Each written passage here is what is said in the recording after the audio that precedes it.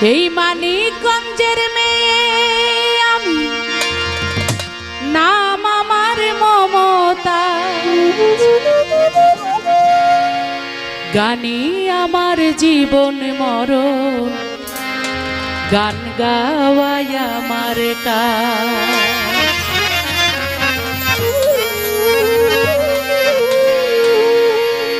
একটু ইকোটা একটু কমাইতে হবে, বেশি বাড়ি কায় মানিকগঞ্জের মেয়ে আমি। নাম আমার মমতাজ। মানিকগঞ্জের মেয়ে আমি। নাম আমার মমতাজ। গানি আমার জীবন মরণ, গান গাওয়াই আমার কাজ। গানি আমার জীবন মরণ, গান গাওয়াই আমার কাজ। ও, গানি আমার জীবন মরণ। দরকার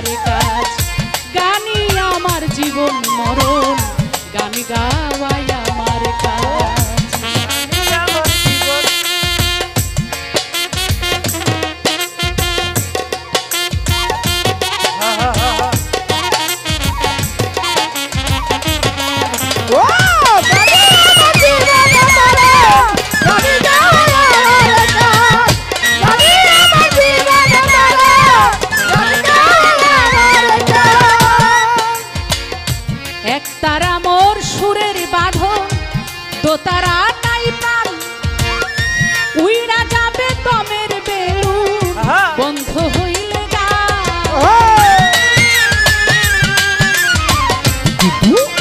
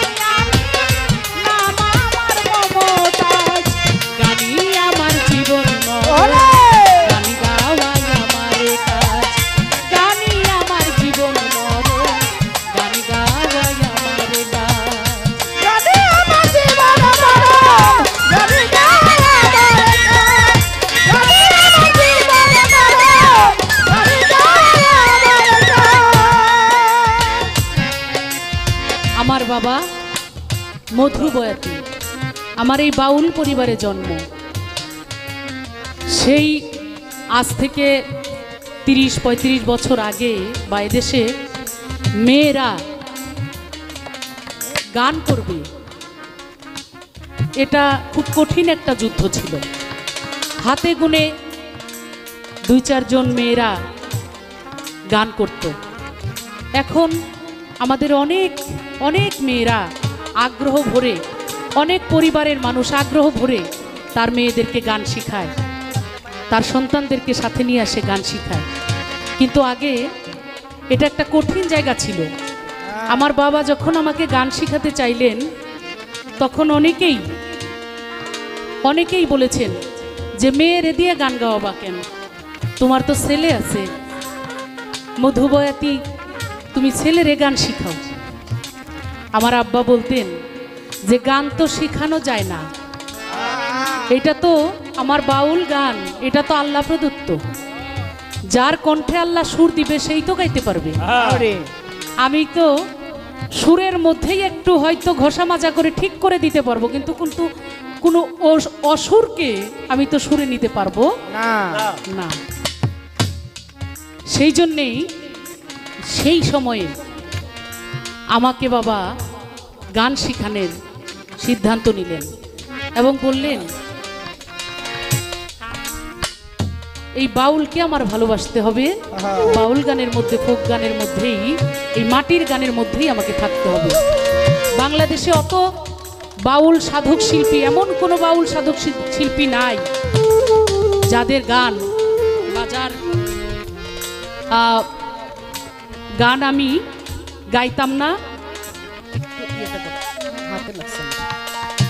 তো আমি আমার অ্যালবামের ক্যাসেটের সময় দেখা যায় যে আমি অনেক সাধকদের গান করতাম। তো যাই হোক অনেক গল্প অনেক কথা সেই বাবা আজকে নেই এবং এই গানের জন্য আমাকে সব সময় আমার পাশে থেকে আমাকে এই পর্যন্ত আমাকে যিনি এনেছেন আমার মা উজালা বেগম তিনিও আজকে আমাদের মাঝে নেই। আগামী সেপ্টেম্বর মাসের তিরিশ তারিখে এক বছর হয়েই গেল মা চলে গেছে আমাদেরকে ছেড়ে। অনেকেই এখানে আছে আমাদের নেতাকর্মীরা অনেকেই আমার মায়ের জন্য অনেক পাগল। আমাকে অনেকেই একটু কম ভালোবাসলেও আমার মাকে অনেক বেশি ভালোবাসতেন। মায়ের জন্য অনেকেই আমাকে ভালোবাসতেন। তো আমি বাউলদের বলব যে আপনাদেরকে আমরা ভালোবাসি ভালোবাসায় কোনো নাম ধাম দিয়ে রাখতে হবে আপনাদের কাছে এরকম চাহিদা আমার নাই। আমি শুধু ভালোবাসায় আপনাদের সাথে থাকতে চাই সারা দেশের বাউলদের সাথে থাকতে চাই বাউলদেরকে নিয়ে কাজ করতে চাই। এই যে জায়গাটা দেখছেন এই যে এরিয়াটা দেখছেন এগুলো আপনাদের জন্যই সারা দেশের বাউলদের জন্য উৎসর্গ করা। আমি আমার সন্তানদের বলছি আমি হয়তো এক সময় থাকব না কিন্তু এইগুলো কেউ কোনো কিছুতে হাত দিতে পারবে না। সকল বাউলরা এখানে সারা জীবন আসবে। হ্যাঁ। আমি না থাকলেও এটা বাউলদের জায়গা। বাউলরা মঞ্চে গান করবে বাউলরা থাকবে বাউলরা খাবে। আমি সেরকম ব্যবস্থা এখনও করতে পারি নাই তবে আমি করে দিয়ে যাব। যাতে এমন একটা কিছু করে দিয়ে যাব যাতে ওইটা দিয়ে সারা জীবন বাউলরা এখানে আসতে পারে চলতে পারে খাইতে পারে থাকতে পারে সেই ব্যবস্থা আমি করব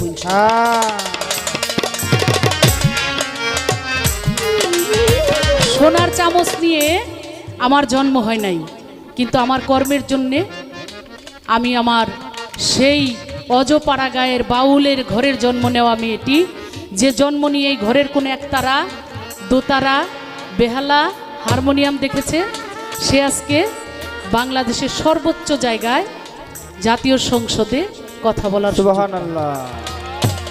এবং শুধু একবার না তিন তিনবার মাননীয় প্রধানমন্ত্রী দেশরত্ন জননেত্রী শেখ হাসিনা বঙ্গবন্ধুর কন্যা আমাকে এই বাউলদের মধ্য থেকে তুলে নিয়ে কোথায় নিয়ে গেছেন?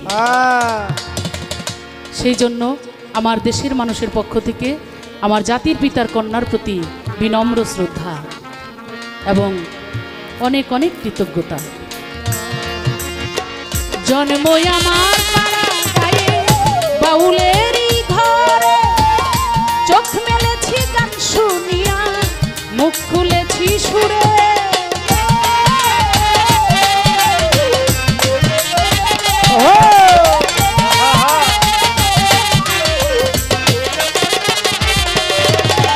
জন্মই আমার পাড়া গায়ে, বাউলেরই ঘরে। চোখ মেলেছি গান শুনিয়া, মুখ খুলেছি সুরে। আমি তুচ্ছ মাটির ধুলা, শ্রোতায়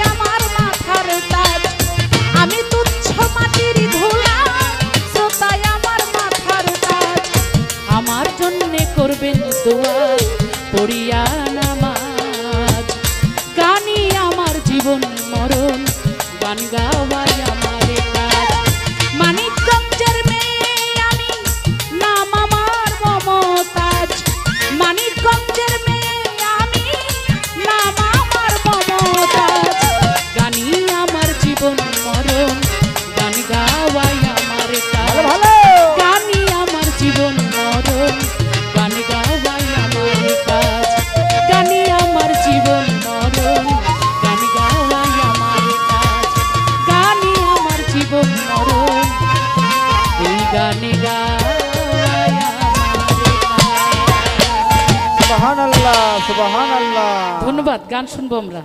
মাঝখান থেকে আমি একটা